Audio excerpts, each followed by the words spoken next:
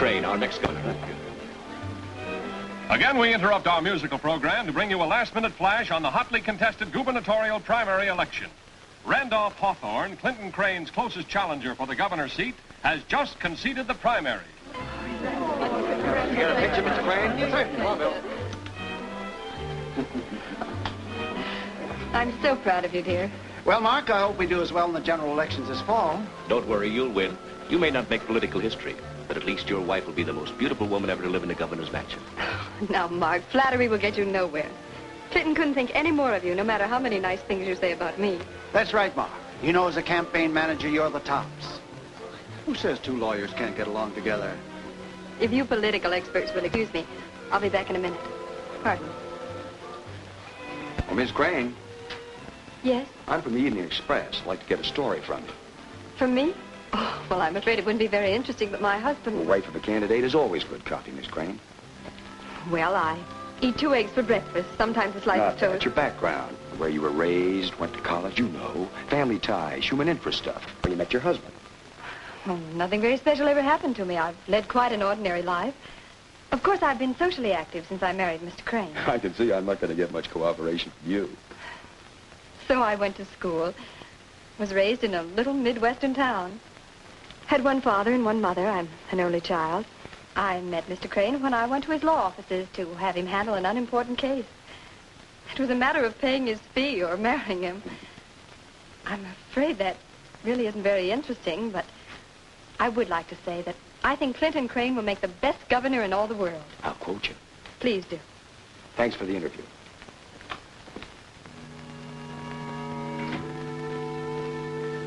It's a great night, Gina. Your life will be different from this point on. Well, I hope not too different. I've been very happy. And you're going to be happier. I'll see to that. Why don't you start by making good on one of your campaign promises? That's right. You did promise me something. Remember? This sounds like it's going to cost me a lot of money. Oh, I promised to buy you a fur coat if I won the primaries. Not just a fur coat, Clinton. A mink coat. Well, I hope making good on all my campaign promises gives me as much pleasure. A mink it shall be. We're particularly proud of this coat. It's one of our latest creations. This is one of our finest ranch minks, Mrs. Crane. We were very fortunate to get these choice skins. The supply is so limited. I can't tell you how thrilled I am to have you visit my shop, Mrs. Crane. I've known your husband for years. He told me you've been friends for a long time, Mrs. Emerson. We can go back to the days I chased ambulances, can't we, Edna? You usually caught them too, Clinton. I couldn't now. I can't run that fast. I always knew you'd be a great lawyer. Even if we don't buy the coat? Oh, the coat. I mustn't let friendship interfere with business. This is an original design. Notice the full sweep. It is lovely. Don't you think so, dear? Yes, I do. Would you like to try it on, Mrs. Crane? Oh, yes, I would. Thank you, Barbara. This should look stunning on you. The shade of the fur will blend perfectly with your coloring. Better get your checkbook out, Clinton.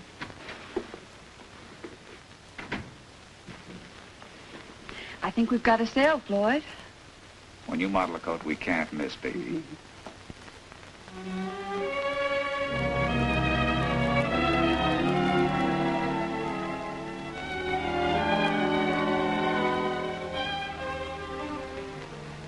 Take this to the workroom, will you, darling? All right.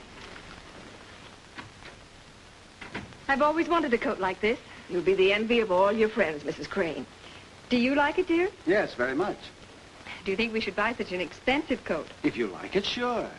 Oh, say, how much is it? $5,000. And, of course, the tax. I guess I spoke too soon.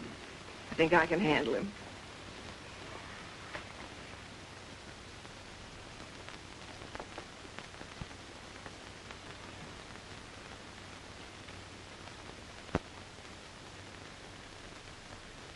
Told you you'd be wearing mink someday, Jenny. It's uh, very becoming. May I compliment you on your taste? Oh, Mr. Crane, this is Floyd Durant, our assistant manager. Not Clinton Crane. Yes. It's an honor to serve you and your charming wife. I'd no idea you were the Mrs. Crane.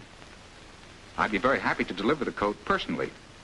I live at the Fairmont Arms Apartments and pass your place on the way home. It'd be no trouble at all, I assure you. That won't be necessary. I'll expect you at nine this evening. It's a pleasure to take money from you. Did You deliver the coat in the morning. Of course. And thank you very much. Very nice to have met you, Mr. Crane. And you too, Mrs. Crane. Good night. Good night.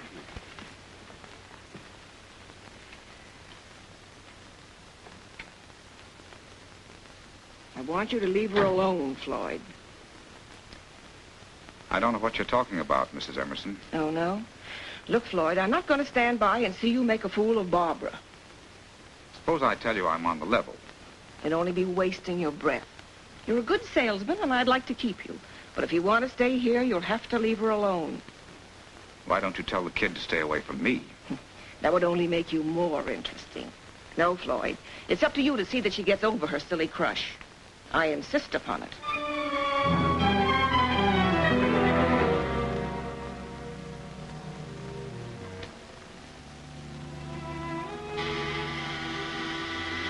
Just a minute.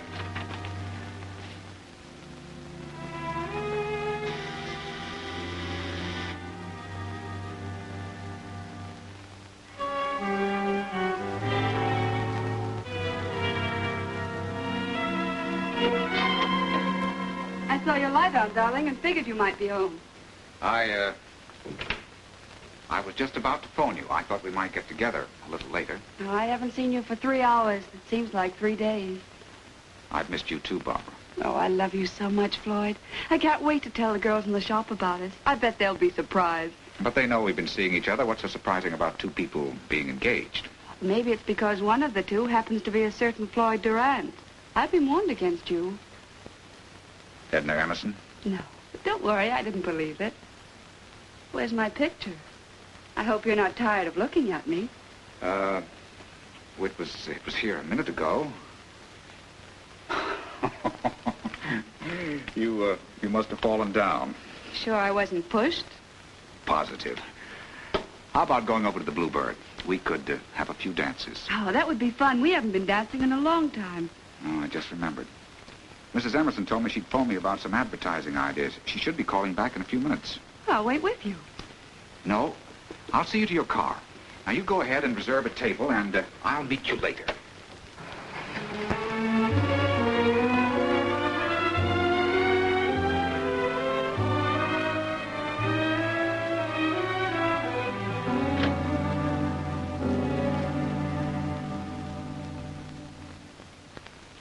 Sounded like my phone. Maybe it's Edna. I'll be right back. I didn't hear a phone ring.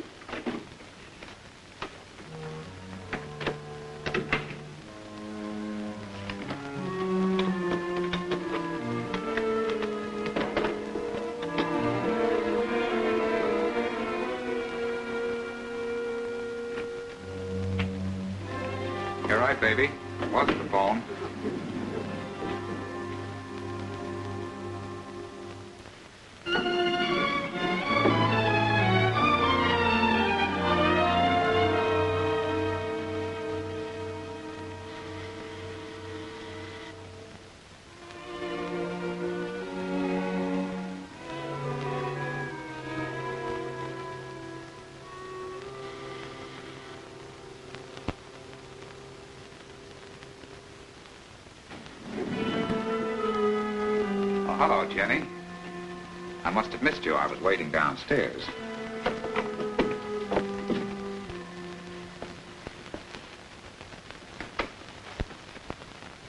Why did you walk out on me, Floyd? Does that look like I walked out on you?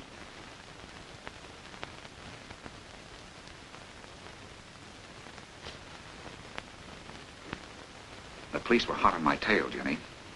I didn't want to leave them to you. As soon as I thought it safe to show my face, I went to your apartment, but you had moved. Someone said you left town.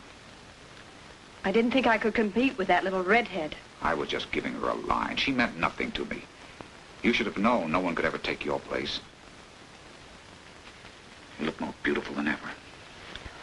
All right, Floyd, let's have it. What did you want to see me about?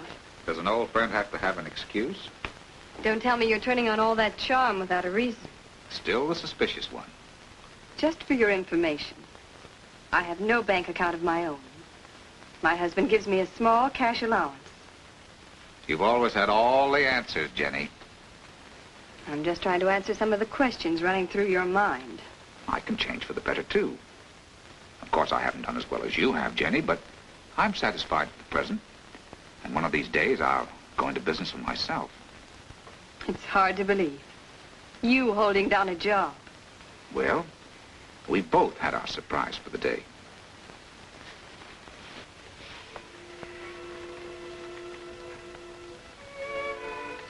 We had a lot of great times together, Jenny. And we did all right for ourselves until we got too ambitious. Remember old man Comstock in Chicago? He felt so hard for you, he wouldn't even go to the police. That's all past, Floyd. I never let myself think of those days. Your husband reminds me a little of Comstock. They're both about the same build and age. I don't suppose your husband knows anything about us. No. Clinton never asked me any questions I can't answer. Well, you finally got your mink coat. Yes? Happy? Of course.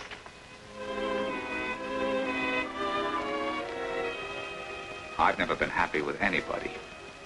But you. That's all over, Floyd. I was an awful heel, Jenny. But I've changed. Now that we've found each other again, let's make the most of it. Jenny, Jenny, baby, I still feel the same way, don't you? Oh, please, this is all crazy. Are you in love with your husband? He's been so good to me. Perhaps it is best for you if we don't see each other again. But, Floyd, we have seen each other again.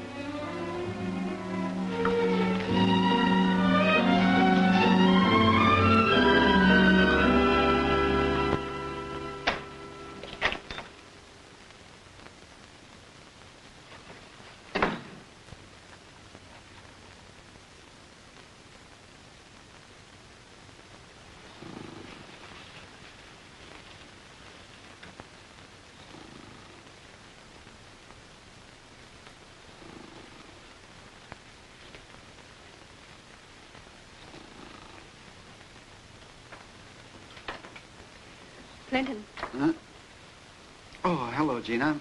Must have fallen asleep. you shouldn't have waited up for me. I guess I just dropped off. Where have you been? I stopped in to see one of the girls about the hospital benefit we're giving. Oh, before I forget it. Edith Henderson telephoned an hour ago. Said she wanted you to call her in the morning. Isn't she on that committee? Well, there are several committees. I know how you feel, Clinton. We don't seem to be able to spend much time together. If you prefer it, I'll beg off. They can get someone else. Oh, I wouldn't think of it, dear. It's a worthy cause.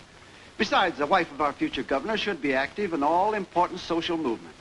Well, I try to do whatever I can. You've been a great help to me, Gina. I'm proud of you. You're a charming hostess. You're clever enough to cultivate the proper people, and although you flirt a little with the men who are important to me, you do it so their wives never get jealous. Maybe I'm a politician, too. You know, it flatters a man's ego to be married to a woman much younger than himself. I'm going to tell you a secret, dear. I wasn't sure that I could hold you. I knew you'd meet younger and more attractive men. You've made me very happy.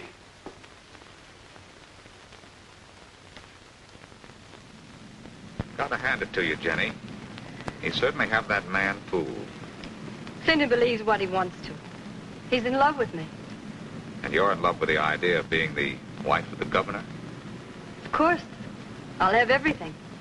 Security, position, power. Everything I've ever wanted. I guess that lets me out, doesn't it?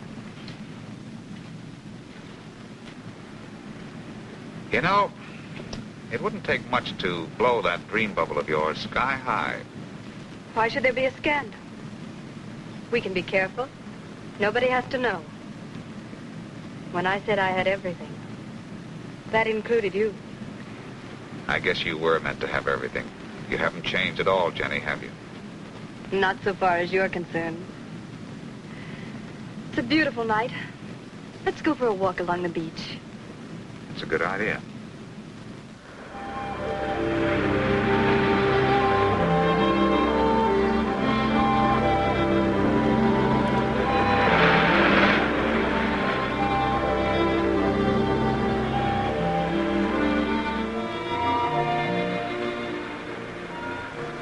Isn't it lovely out here? Yes. Cigarette? Thanks.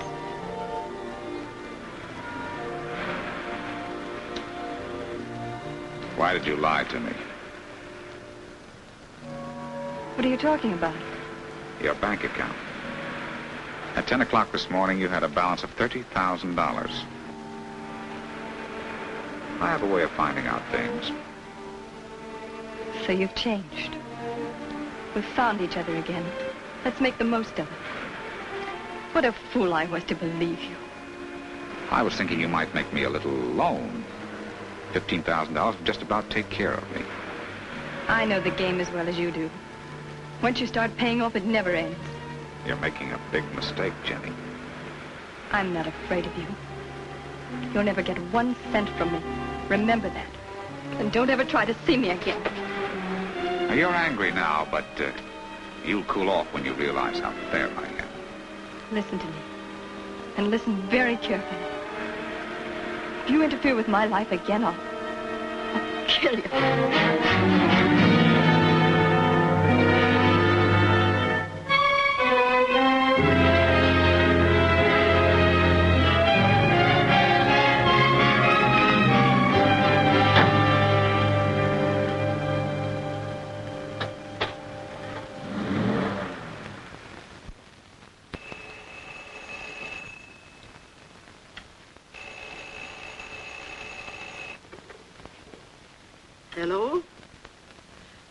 This is the Crane residence. Mrs. Crane isn't in just now. Oh, I don't know when she'll be back. Do you want to leave your name? No. I'll phone later. Thank you.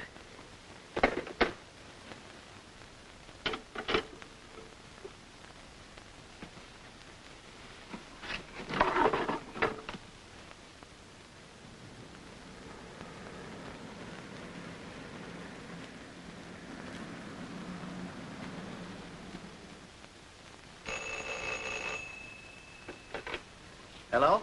Mr. Crane speaking. No, Mrs. Crane isn't here. Oh, hold the wire. Mrs. Crane just came in. It's for you, Gina.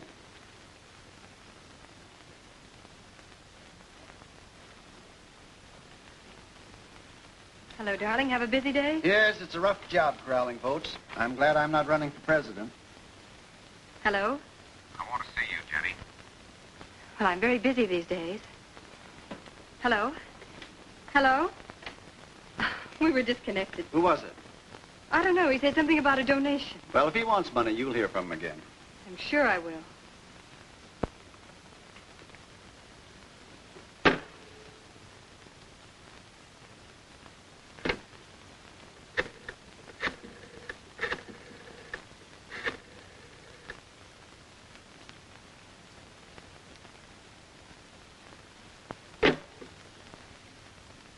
And then I said, Ladies and gentlemen, I'm not making idle promises.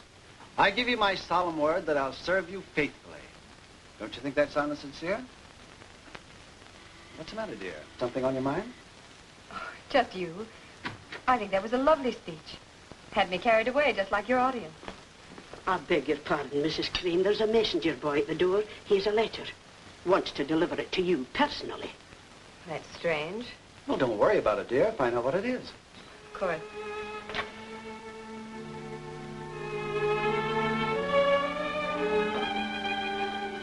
Mrs. Crane, Yes. sign here, please.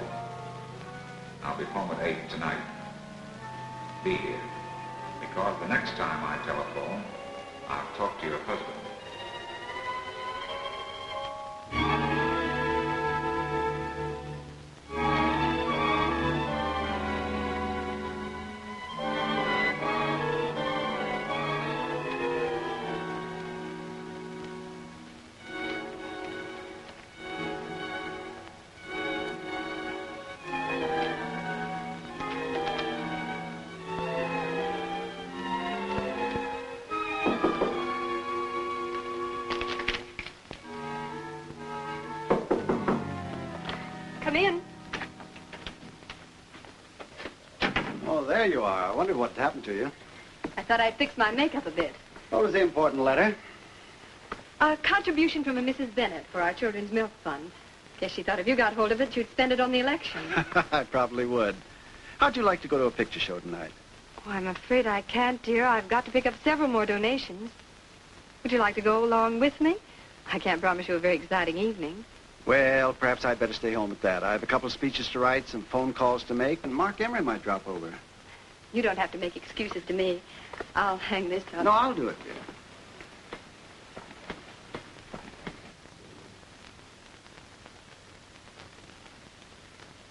I told you I'd meet you later. Yes, I know. You told me the same thing the other night. I waited at the Bluebird till almost midnight. But I told you how that happened. Not to my satisfaction. If you don't want to see me, why don't you just say so? Now, don't talk like that, Barbara. you know I'm crazy about you. I'd ask you to stay, but someone's coming over to see me about a big deal. Now, I'm only doing it for us so we can be together. What kind of a deal are you talking about? Now, you wouldn't understand. You've just got to trust me. Now, run along like a good When girl. you're trying to get rid of me, you must be expecting a woman. All right, it is a woman. So what? She wants to set me up in business. You don't expect me to turn that down, do you? Mrs. Bolton wanted to set you up in business, too. I didn't believe it when I heard it, but I do now. All the stories they've been telling me are true. What difference does it make where you get the money so long as you get it? And I thought I was in love with you. I despise myself for being such a fool. But I despise you more for making me feel so cheap. How contemptible can a man get? I hate you. I hate you. Stupid little fool. Get out of here. Do you hear me? Get out.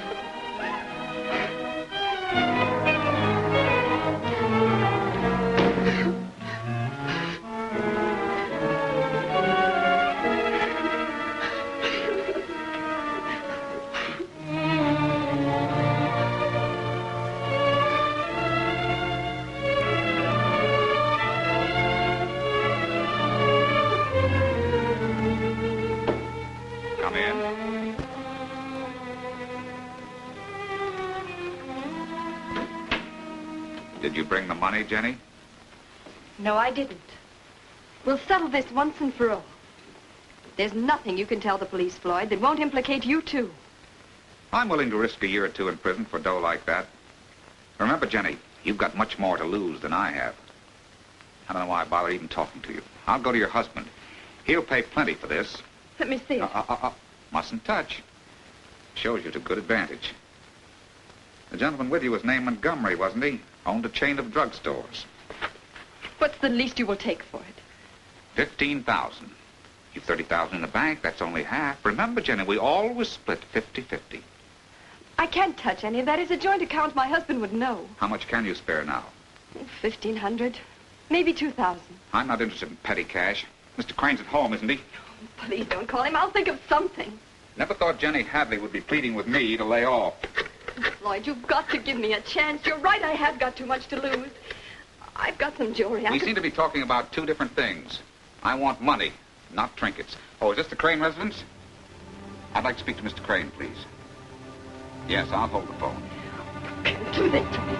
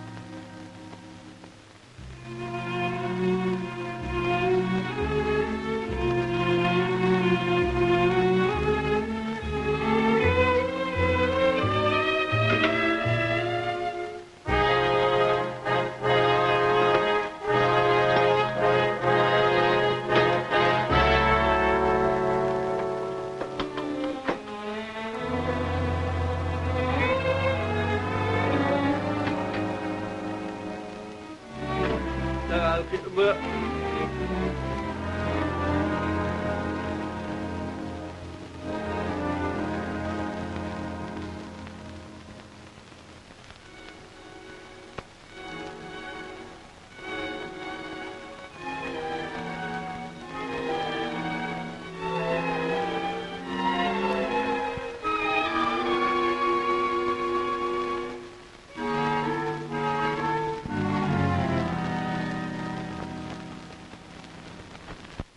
Crane will be right down. But please serve my breakfast right away. I have to dash for a train in a few minutes. Yes, Governor. I, I, I mean, yes, sir.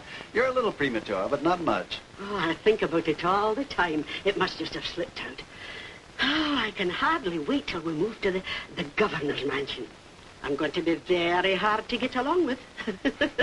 Meanwhile, how about my breakfast? You wouldn't want me to start for a trip on an empty stomach, would you? oh, yes, sir. Huh? I mean, no, sir.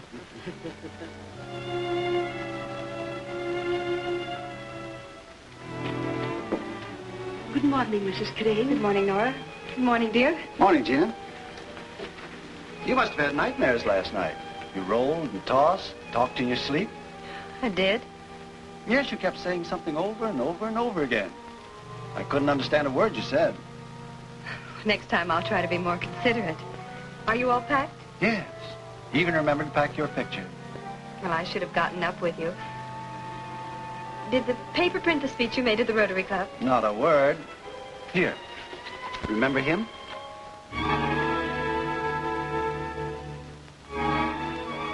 No, I don't believe I ever saw him before.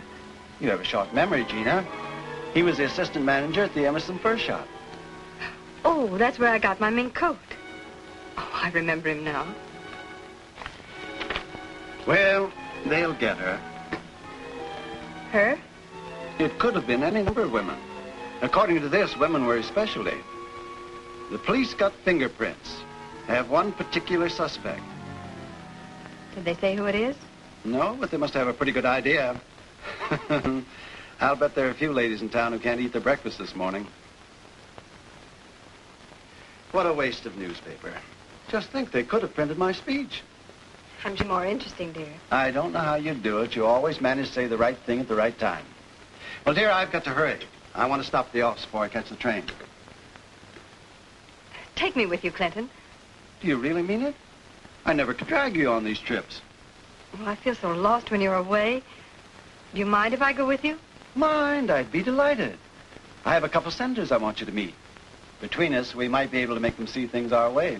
We'll do our best. We'll have to hurry.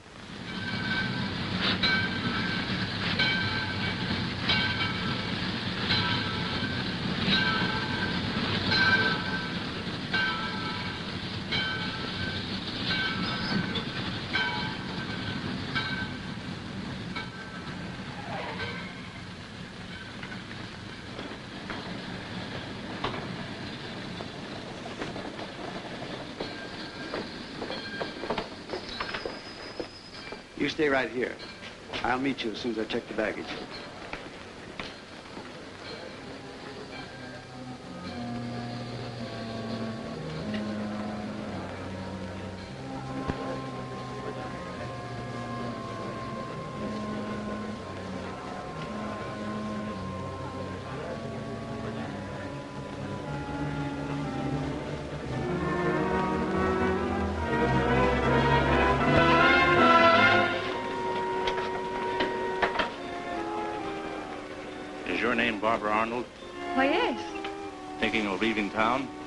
Plan to visit some friends up north.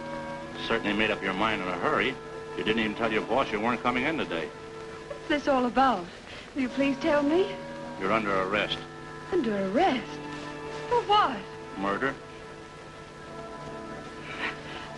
Whose murder? Floyd Durant. Come along.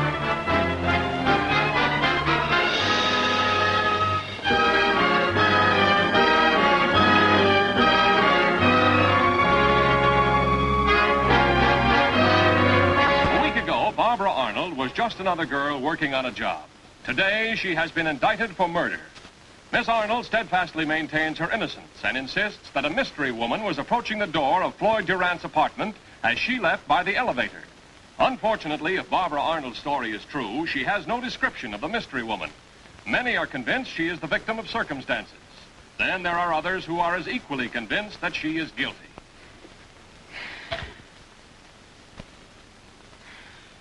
Least we could do is get her a good lawyer. Well, I tried to warn her. I knew something had happened, but I never dreamed it'd be anything like this. How can they even think that Barbara would do a thing like that? She was in his apartment about the time he was murdered, and that's enough for the police. I'll get her the best lawyer in town. We can't let her down. I'll help. Well, I will, too. Don't worry, I'll take care of everything.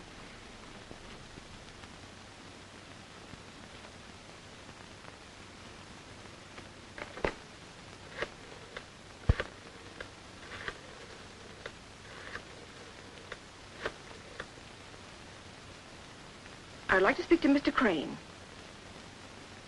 Oh, I see. When will he return, please? All right. Thank you. Goodbye. Mr. Crane will be back this evening. He'll help us, I'm sure. Then I saw Steve Crosley, like you told me, Mark. You know, he controls a lot of votes. That's why I thought you should see him. What about Clemens? Well, he's with us, too. He sent his best regards to you. You feeling better, dear? Yes, thank you. Haven't you been feeling well? Oh, it's nothing serious. She's been troubled with headaches ever since we left here. I tried to get her to see a doctor, but she wouldn't. I'll be all right, Clinton. All right, all right, I'm coming.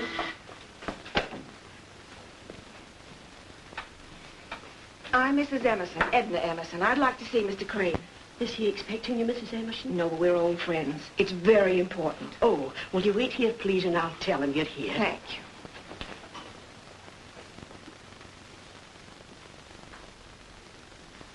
I beg your pardon, Mr. Crane. There's a Mrs. Emerson wants to see you. She says it's very important. You'll excuse me? Hello, Edna. I hope you'll forgive me for barging in on you like this, Clinton, but I just had to talk to you. Sit down, sit down. Now, what's the matter? You're familiar with this Floyd Durant murder case. Couldn't miss it very well. The papers have been full of it. That's right. He worked for you. Yes. And so did the girl who was accused of killing him. You remember, she modeled that coat for Mrs. Crane. Oh, yes. She means a great deal to me, and I want her to have every chance. I'd feel much better if you were her lawyer. I'll pay you your fee no matter what it is. Well, Pardon me, Clinton. I couldn't help overhearing your conversation. Good evening, Mrs. Emerson.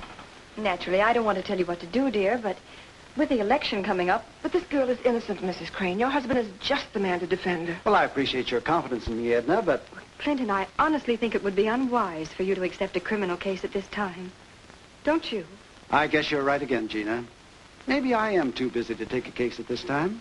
It isn't as though we're not sympathetic towards the girl. I'm sure you can find another lawyer. Could you recommend a good man, Clinton? Well, yes, I think I can. Oh, me?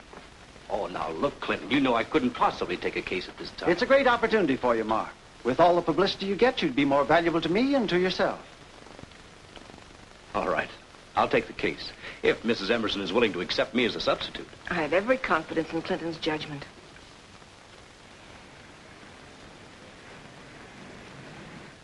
Mrs. Emerson wanted me to see you. I'm going to act as your lawyer. That is, if you'll have me. I believe that's been taken care of. The public defender has been assigned to handle the case, Mr. Watson. I've already told him I'm taking over. Well, maybe I should have consulted you first.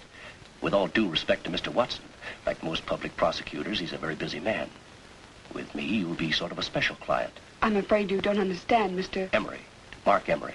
I can't afford to pay a lawyer. Mrs. Emerson's already taken care of that. I want you to give me a chance to defend you. Well, now, you don't want me to have to give Mrs. Emerson her money back, do you?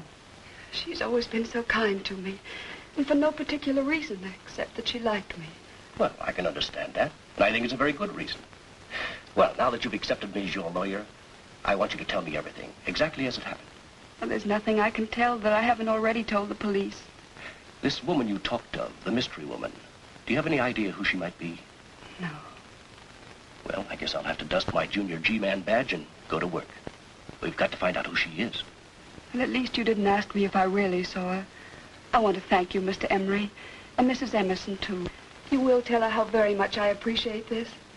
It's the first ray of hope I've had. Say, Mark, you're doing all right. How many times in the last three weeks do you suppose your picture has been in the paper? I've lost count. If you could get an acquittal in this case, you'd be the biggest man in town.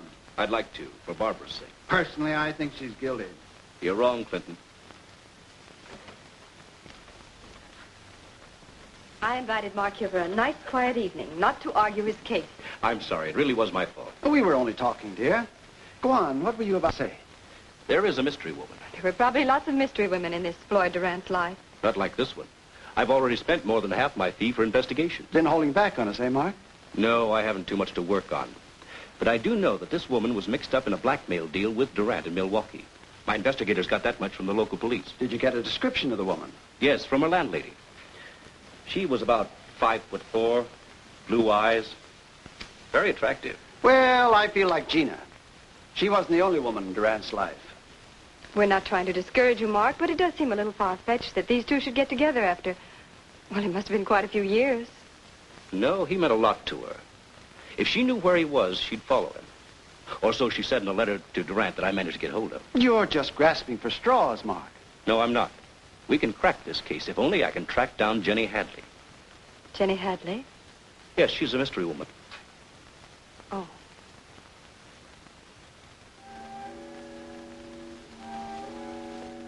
Could Mark know I'm Jenny? Oh, no, he couldn't. He'll never find out I was in Floyd's apartment. I didn't leave any clues behind. I burned the picture, threw the ashes down the drain. He'll never guess that I'm Jenny Hadley, never.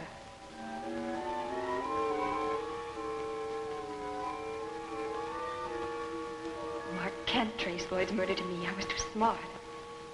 Yes, that's it. I was too smart.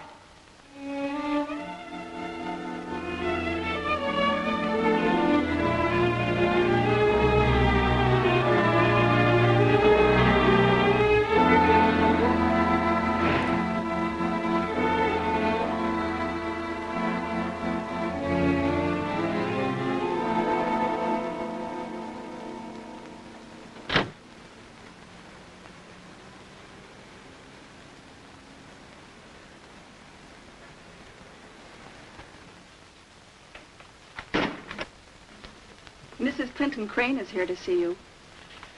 Well, have her come in. If you please, Mrs. Crane. Well, this is an unexpected pleasure. Hope I'm not interrupting anything. Not at all, Gina. Sit down. I can only stay a moment. I left the house without any money. It's a legal holiday. The banks are closed, and Clinton isn't in his office. Take your pick. I'll take the one with the picture of Andrew Jackson on it. Sure you don't want another to keep Jackson company. No, thanks. I'm just going to a luncheon. Twenty dollars for lunch? Two cups of coffee. I read in the morning paper where the Barbara Arnold case goes to trial in a couple of weeks. That's right. Have you found out any more about this Jenny? Not as much as I want. However, I have a couple of leads which might pan out. Clinton still thinks you're wasting your time with this mystery woman of yours. What do you think, Gina? Well, I'm inclined to agree with Clinton. Well, maybe you're a little prejudiced. Maybe. Well, I must be running along. Thanks for the loan. Not at all. Tell Clinton I'll drop over first chance I get. If he doesn't try to frame my defense for me. Goodbye, Mark. I'll see you to the elevator.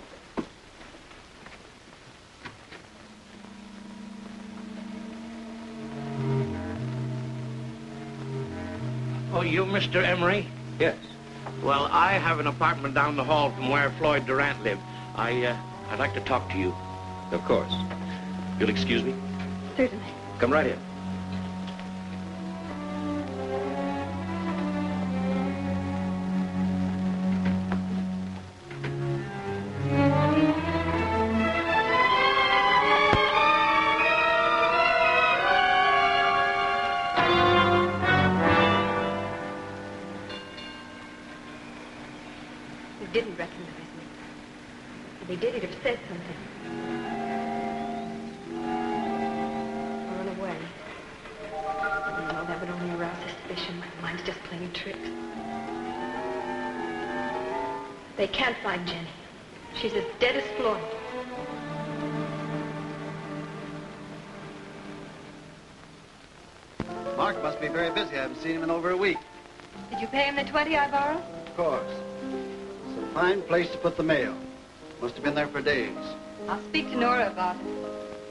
One for you, dear.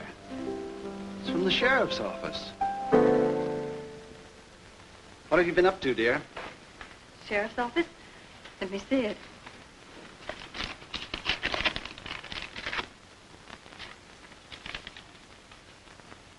Oh, it's for jury duty. Didn't know you were in line for it. When were you interviewed by the jury commission? Oh, some weeks ago. Clinton, you can get me out of this, can't you? Why? Well, I've so many things to do. Well, Gina, I'm surprised. It's your duty to serve. Here, let me see that again. Judge Benson's court. Must be the Arnold case. But I know Mark so well, it wouldn't be right for me to... Well, I'm sure that wouldn't influence your decision. You'd vote according to your convictions regardless of Mark. And it's great publicity for me. Say, you're doing court today for an hour.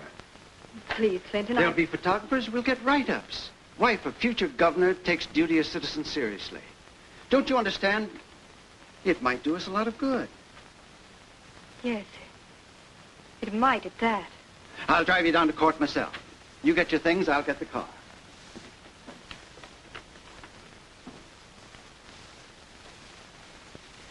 Walter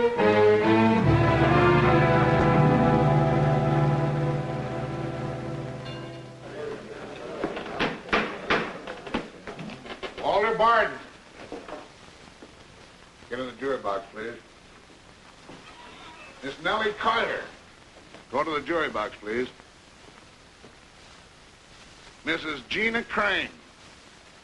Mrs. Gina Crane?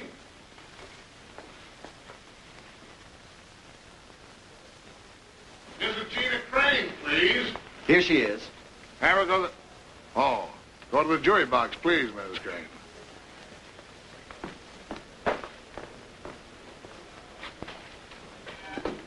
I thought I recognized her.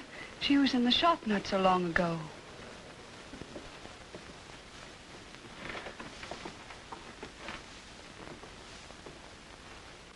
Tell me, Mr. Barton, have you formed an opinion as to Miss Arnold's guilt or innocence? Well, uh, not exactly. What do you mean, not exactly? I thought you said you were unbiased. Well, uh, well, you just can't help having some idea. I challenge Juror Barton for cause. Juror Barton may be excused. If you should be selected as a juror, could you truthfully say that you would be unbiased? Yes. Mrs. Crane, did you ever meet the defendant? Yes. I bought a coat at Emerson's fur shop. She worked there. Would this acquaintance influence your verdict anyway? Of course not.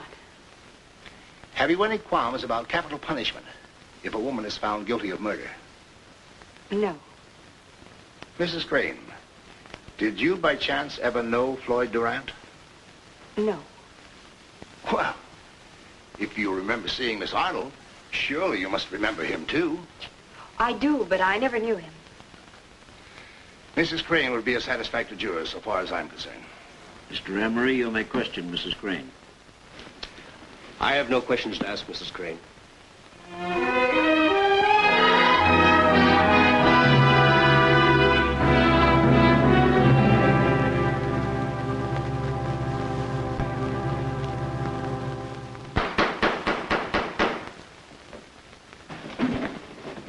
Orders now in session. You solemnly swear at the evidence you're about to give in this case to be the truth, the whole truth, and nothing but the truth, so help you God? I do. Mr. Neal, you are a fingerprint expert? Yes, sir. Are you positive the fingerprints on the paper knife were made by the defendant? Yes, sir. Will you show the court how the knife must have been held to form those prints? Sure. She must have held it like this. I told him not to see Barbara, but he wouldn't listen to me. I understand he was quite a salesman, Mrs. Emerson. Yes, he was. Did he ever cause you any anxiety besides his attentions to Miss Arnold? Some, but nothing too important. And you told Barbara he wasn't the type of man she should consider marrying. No, I was afraid to. Sometimes women marry men just to reform them. Could you tell me if Durant ever mentioned a woman by the name of Jenny Hadley?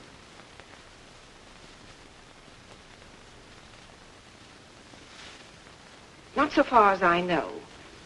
I never heard of her. Thank you. Yes, Mr. Arnold was a frequent visitor at Mr. Durant's. Can you truthfully say that she was there the night of the murder? Yes, I saw her come out of the elevator. She was crying. About what time was that, Mrs. Lambert? It was exactly 8.30. I had just locked the hall windows for the night. It's a company rule, and they're very particular about it. I remember the time because I was in a hurry to get back to my office to listen to a murder mystery on the radio. I see. I live across the court from where Mr. Durant got himself bumped, where he was killed. How much space separates the two buildings, Miss Woods? Oh, about five feet. No, I guess it's closer to four. I could see in his apartment if the window shades were up. And they were up that night, Miss Woods? Oh, yes, sir. And what did you see? Well, uh, when I first peeked over, she, Miss Arnold, and that thrill boy, Mr. Durant, were talking. She had a paper knife in her hand. Could this be the one you saw? Could be. I object, Your Honor. Miss Wood's answer is too vague to be entered as testimony. But we know Miss Arnold held the paper knife. And we also know it was the death instrument. Objection overruled. After you saw Barbara Arnold menacingly hold this knife, then what happened? I went to answer the telephone. And when I came back to the window, they were really telling each other off. Can you recall any of this heated conversation between them? Oh, sure. She called him contemptible. She really worked herself up into a lather. Then she said, I hate you. Then she slapped him. Then Floyd told her to get out. Then... Then, then what? The telephone rang again. Oh. And when you got back to the window? Oh, I didn't go back to the window. Got myself a date and went out. Had a nice time, too. That bluebird is some joy. Did you Yeah, ever yes, see the yes, floor yes, show? I, I know. That will be all, Miss Woods. Thank you very Oh. much.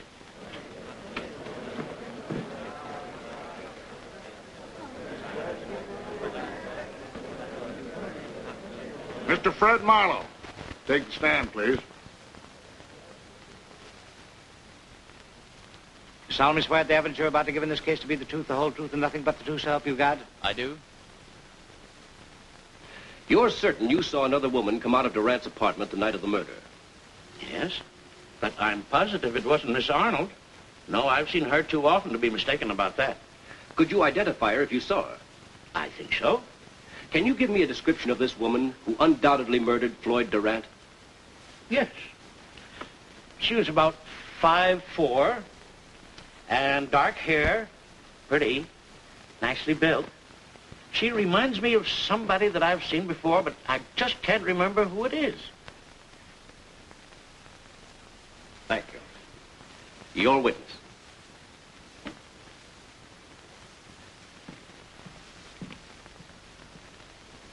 Isn't it a fact, Mr. Marlowe, that you are very nearsighted?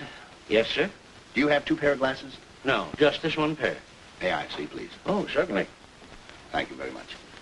Now, Mr. Marlowe, I want you to look around the courtroom and point out to me a woman who looks something like this so-called mystery woman you say you saw coming out of Floyd Durant's apartment the night of the murder. Oh, come, come now, Mr. Marlowe. Please, be specific. Did she wear a hat? What color? Was she tall, blonde, brunette? Was she fat, short, what? Come on now, Mr. Marlowe. Just point out anyone who looks something like your mystery woman. There, right over there. Now, uh, you wait to put these on until I reach the person to whom you're pointing, will you please? Yes. Thank you. Uh, this the person you mean, Mr. Marlowe? Yes, yes, yes. Uh, put on your glasses, Mr. Marlowe, please.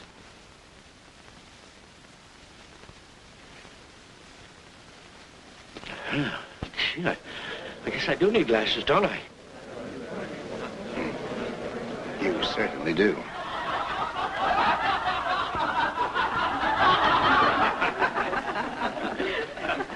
As a matter of fact, your glasses were being repaired at the Glen Optical Company the night of the murder.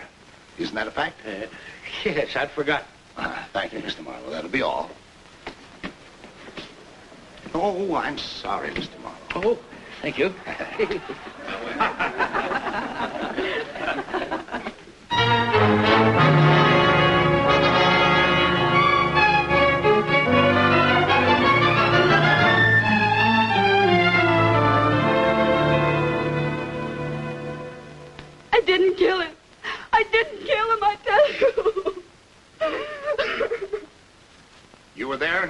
the night he was murdered. And by strange coincidence, you were seen to hold the very weapon that later was found in his dead body. Were you in love with him? I... I thought I was. And you, too, saw this mystery woman go in after you left? Yes. I had just stepped into the elevator when I saw a woman go toward Floyd's apartment. The elevator doors closed so quickly, I, I didn't get a chance to see what she looked like. You've got to believe me, Mr. Flanagan. It doesn't make much difference what I believe, Miss Arnold. It's what the jury believes. Isn't it strange that when a woman in love sees another go into her sweetheart's apartment, she isn't even curious enough to see who it is? Why didn't you go back and see who it was? I didn't care. I never wanted to see him again. You made certain of that. I object, Your Honor. Objection overruled. I didn't do it. Someone must believe me. Someone must believe me.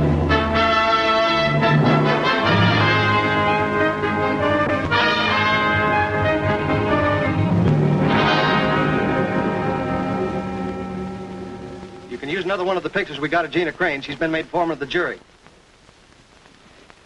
Frankly, I'm confused. I've heard so many different stories, I don't know what to believe. But I don't think Barbara's guilty. Don't tell me you fell for that mystery woman. From the evidence I've heard, and I've listened to most of it, I'd say there is such a dame. Probably lots of them. I can't see why any gal would kill a cutie pie like Floyd without a reason. There's plenty of reason. He was a chiseler. Can't we get back to Barbara? After all, the question is, are we going to judge her guilty or innocent? I don't think we can honestly convict her on the evidence presented. At the best, it's only circumstantial. Miss Norman, surely you haven't forgotten her fingerprints around the knife. I'm certain the mystery woman didn't put them there.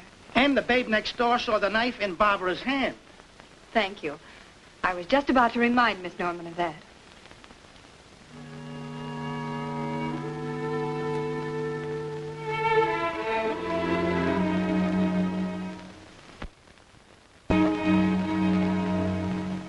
Motive is clear. It was brought out in many different ways during the trial. Barbara elected Floyd to marry her. And when he told her his intentions were not serious, well, she even admitted on the stand that he ordered her out. She killed him. It was cold-blooded murder. Well, tell me, Mrs. Crane, if Barbara was guilty, why do you think she waited until the next morning to run away? Yeah. If I'd killed a guy, I couldn't get out of town fast enough. She evidently figured she had nothing to fear. At that time, she didn't know she'd left her fingerprints on the knife. Say, you talk like a lawyer. I guess I get that from my husband, Mr. McLean. I'm the last person in the world that would want to see an innocent person convicted of a crime. But I'm convinced of Barbara Arnold's guilt. I'd stake my own life on it. That's good enough for me. Well, I'm convinced. Let's take a vote. I want to go home. My wife's going to have a baby, and well, I've never been home yet when she's had a baby.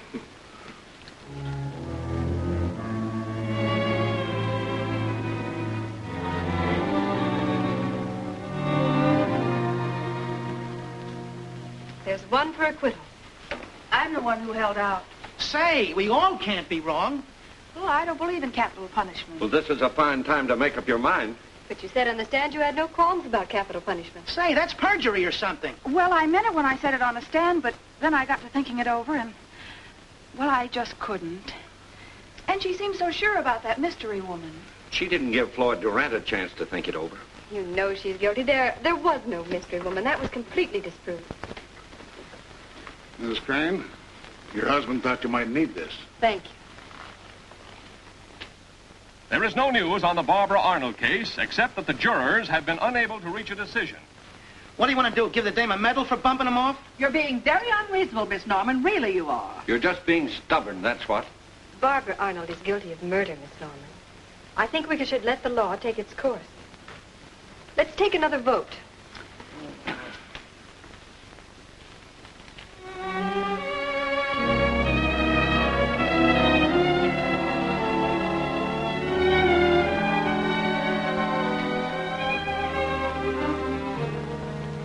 We're in accord, ladies and gentlemen. Good. Well,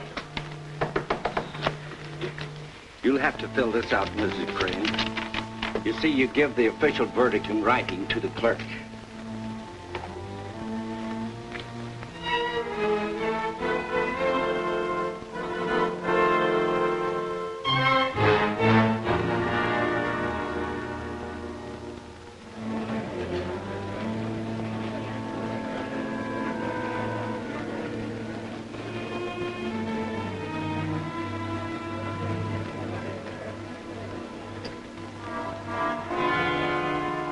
Ladies and gentlemen of the jury, have you reached a verdict? Yes, Your Honor, we have. We find the defendant... No, no, Mrs. Crane. Hand the verdict to the clerk.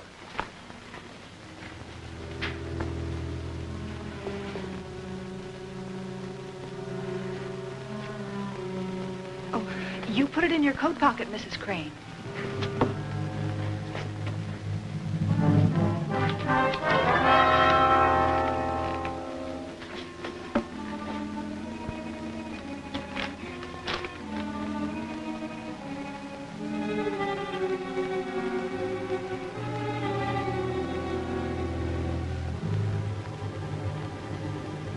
Read the verdict. There's, there's some mistake, Your Honor. Will you please read the verdict? But, Your Honor, this isn't... Read it!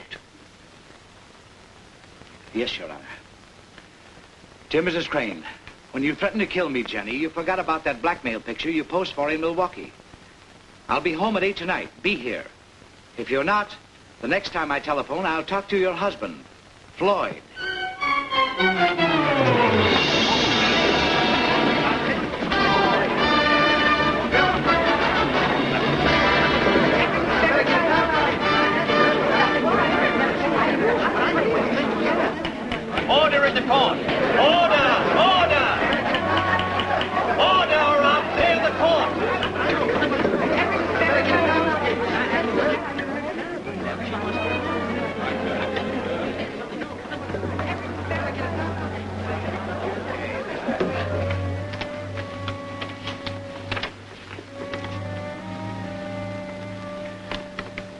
Was guilty.